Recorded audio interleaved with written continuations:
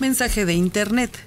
Señor Héctor Martínez Serrano, lo escuché por primera vez en la radio XCW México en el año de 1963, precisamente en spot de muebles de Lerdo Chiquito. Saludos, maestro. Gracias. Todavía tengo los muebles de tan excelente calidad que sobreviven. Estaba en sol y entre sol y luna, ¿no? No, estaba en Puente de Alvarado. Había sucursal. Había, estaba, en el Lerdo. Estaba en la Guerrero. ¿Sabes qué? Sería interesante que todavía tuvieras el carrete con esa grabación. Sí, por allá. Por ahí anda. anda. Eso. ¿Quieres oírlo? Claro. Dicen nuestros compañeros que ahí lo tienen. A ver. Haga de su casa un hogar con muebles de Lerdo Chiquito, más finos, de mayor duración y más baratos. Aproveche nuestras ofertas fabulosas de aniversario, como el comedor modelo Florencia enchapado y fino terminado nogal a solo 230,990. Visítenos en Rinconada Estrella número 7 y nuestras cinco sucursales. Qué bueno. A ver, hay una información aquí en donde se nota que nos tienen miedo. Malvados de Jalisco, Tláhuac y Tepito pactan una tregua en la Ciudad de México. Ay, La Fiscalía General de la República, de manera que no es chisme, ¿eh? confirmó que existe un pacto de no agresión entre los carteles de Tláhuac, de Jalisco Nueva Generación y el grupo de la Unión Tepito, lo que pretende evitar disputas en la Ciudad de México y municipios conurbados. Quiere decir que, pues, les conviene más que nos convirtamos en delatores de cada malvado y que puedan ser eliminados.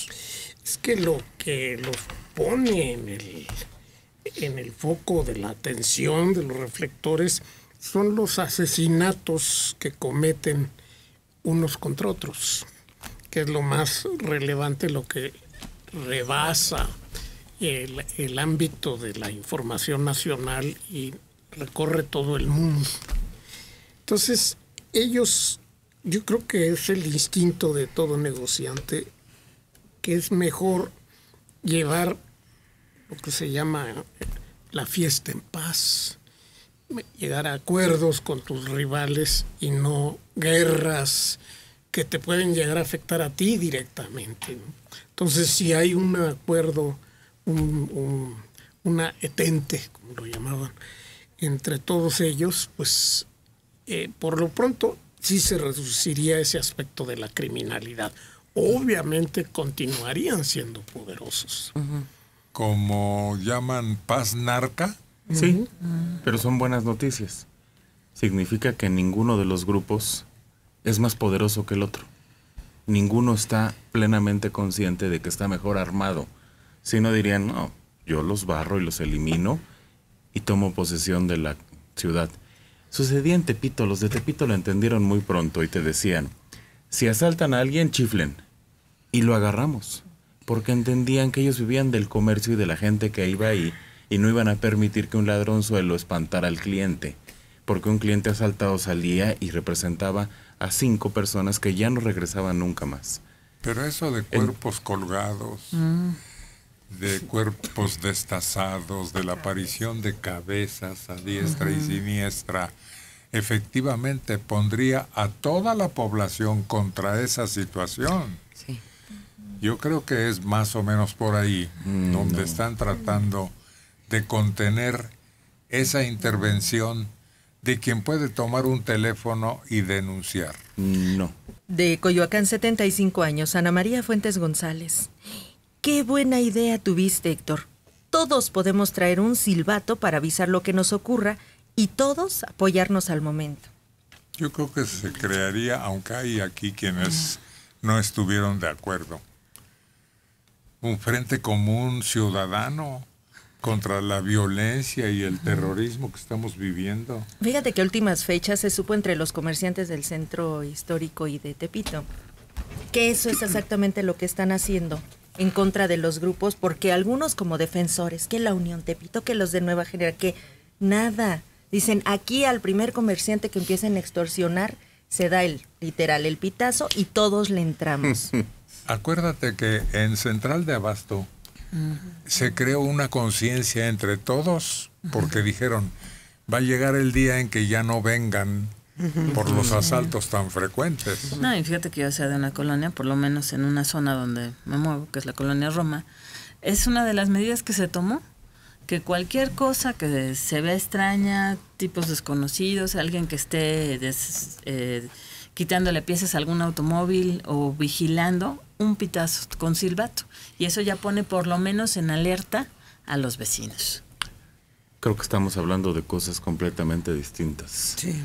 Y, entonces no podemos ponernos de acuerdo. Una cosa es eh, avisar a la autoridad, otra cosa es estar alertas, pero enfrentar a los criminales. Es linchamiento. No solo es linchamiento, se requiere superioridad numérica, se requiere superioridad en poder.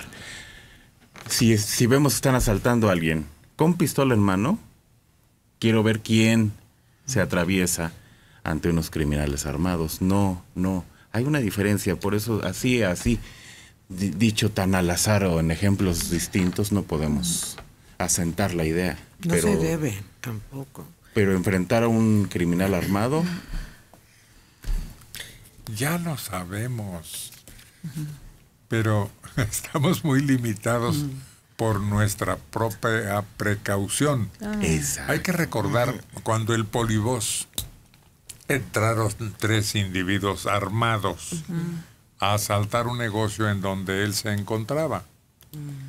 Sacó la pistola y mató a uno. Claro, este, ninguno de nosotros quisiéramos vernos en ese papel, pero ejemplos los tenemos. Sí, eh, se usó o se propuso que se usara eso entre mujeres para avisar de ciertos tipos de acoso o de, intento de asalto o de secuestro, pero la pregunta es, ¿sí se usó? ¿Alguien lo hizo? Yo nunca me enteré de que Mm. empezara, nunca he oído un silbato junto a mí viendo a una mujer pidiendo auxilio y es una buena idea porque entre otras cosas, en el momento del pánico a veces no puedes ni hablar ni gritar y se te va la voz.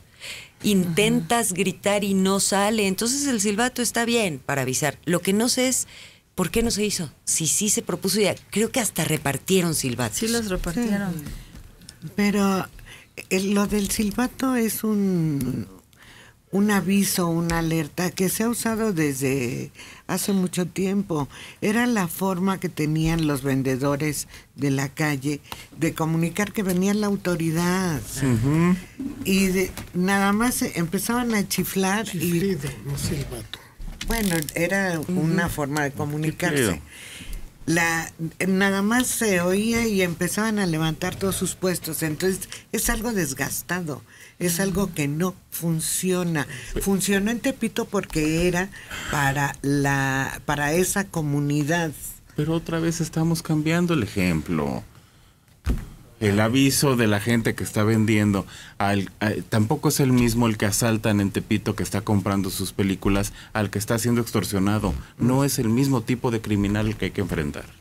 Pues dos motociclistas no se enteraron de esa paz que concretaron entre varios grupos delincuenciales. Porque estuvo como de película. Iban persiguiendo un vehículo y ahí tripulaba una mujer impresionantemente hermosa.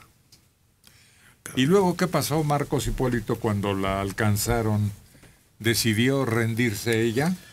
Pues sí, porque seguramente sabía lo que iba a ocurrir. Estos sujetos la obligaron a bajar de su camioneta y le ejecutaron de dos balazos en la cabeza anoche en la colonia Exhipódromo de Peralvillo en la Cuauhtémoc. También llama la atención que le dispararon con un arma de las llamadas matapolicías. Los sicarios escaparon. Ahí quedaron dos casquillos calibre 5.7 que es, son los que utilizan esta pistola llamada 5-7, matapolicías. A la Ucisa la acompañaban dos amigas que resultaron ilesas. Esto ocurrió anoche como a las diez y media en el cruce de las calles Beethoven y Aquiles el Orduy en la colonia Exhipódromo de Peralvillo. Se trata de Gabriela Michelle Juárez Rosales, apenas 24 años de edad, una mujer muy guapa, despampanante. Incluso en su cuenta de Facebook su último video aparece con la misma ropa que, tenía anoche cuando la mataron a balazos. Según la versión que dan testigos y también las dos amigas, dos sujetos en una motocicleta la persiguieron, le cerraron el paso, la obligaron a bajar del vehículo y ahí la sacrificaron de dos impactos de bala en la cabeza. Y las autoridades están investigando porque su nombre aparecía en una de las mantas colocadas el miércoles en la zona de Tepito.